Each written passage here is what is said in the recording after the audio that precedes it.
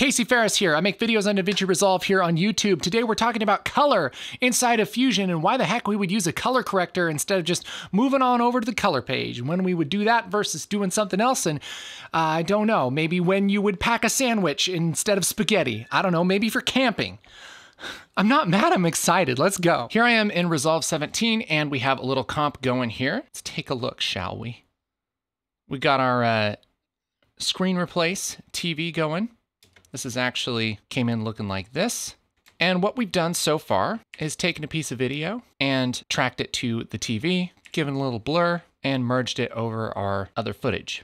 This looks pretty good, but ideally we're gonna want to adjust the colors separately for this screen than the rest of the footage. And so you might think to yourself, okay, if I need to do color, maybe I'll just go to the color page in Resolve. And for the most part, you would be right. And if we have this comp in our timeline here, we could certainly bring it into color and we could do all of the fancy things. You know, we could do our color correct it and all of that kind of stuff here in the color page. But of course, there's a problem. We can do color here in the color page, but it affects the entire clip. What if we just want to color correct this TV? If this were a normal clip, we could select this TV with a window and track it, and that's how we would isolate the screen, which we could do here, but there's not a whole lot of reason to do that because we already have this split up into different images in the Fusion page. And so if we want to adjust the TV separately, that's where a color corrector node inside of the Fusion page comes in. So here in Fusion, we have our screen separate. And we can color correct this separately from our background just by going to our nodes, grabbing this color corrector node and dragging it down in between our blur and our merge, because that's just going to color correct everything after we track it and blur it and all that kind of stuff. And now whatever we do here will just happen to the TV. Although there is one thing that we want to do just to make sure things work nicely. Let's select the color corrector node and go up here to options make sure to click pre-divide post multiply. What that's gonna do is if you have a shape that isn't just a nice rectangle and it has a little bit of skew to it, it's gonna make sure that it only color corrects where your image actually lives, like only right here. If you don't have this selected, it can do weird stuff. So make sure to select that. So now we have our screen separate from the rest of our footage. And this becomes really handy for something like a screen replacement, because to make a screen replacement look at all real,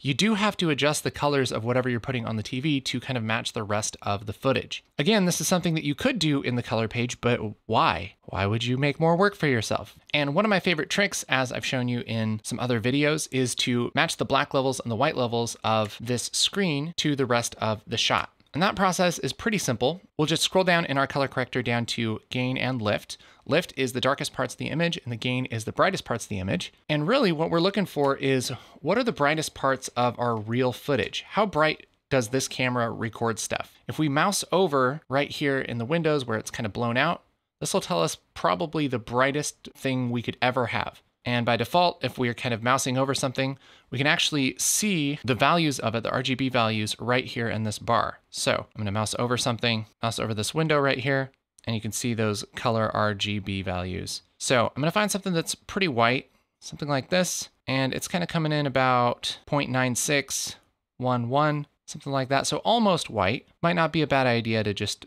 take stuff down a little bit. We could look at our reflection here. It's 0.8, 0.95, 0.94, something like that. And that'll give us a pretty good just starting point for where to set our gain. So our gain, let's just start that out at 0.94. This is oversimplifying just a little bit, but it's gonna work great for just doing a basic match to our footage. So what we're doing now is making sure that the brightest part of this TV isn't brighter than the brightest part of the rest of our shot because it's probably not unless this is like nighttime or something and the TV is the only light. So now we got to do the same thing for the darkest parts. So I'm going to look for something here in our shot that's really, really dark, like almost black. So we're going to mouse over stuff here and look at our RGB levels. Right now, that is just about real black, but we also have a lot of 0.09, 0.08, something like that. We're also gonna look kind of around the TV and stuff. So it's a little bit noisy, but yeah, it's 0.1, 0.08, something like that. If we're at like 0.07, probably 0.08, that's probably gonna be good. So for our lift, we're gonna say 0.08,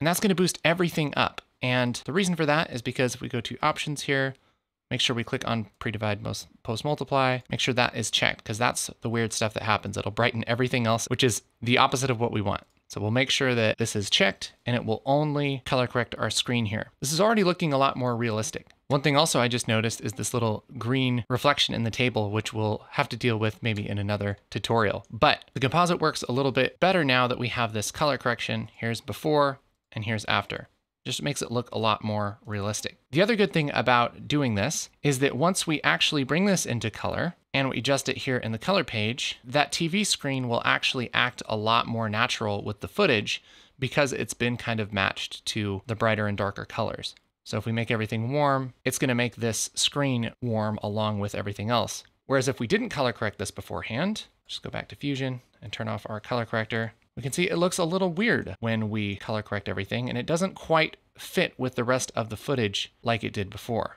I'll just give a little bit of a wipe here. So we can kind of see the difference. It's a little bit subtle, might be kind of hard to see with YouTube compression and everything, but this is without the color corrector and this is with it. We might also realize that, man, this TV is a little bit too saturated. Again, we can go back to Fusion and take the saturation down in our color corrector to just kind of match the rest of the shot. And now we have this acting a lot more natural than before. So that's why we use the color corrector inside of Fusion versus just color in the color page. So I hope that clarifies things. If you want more videos on Fusion, we have a playlist going right here. All you have to do is click on it. You can automatically watch all the things. So many things. Lots.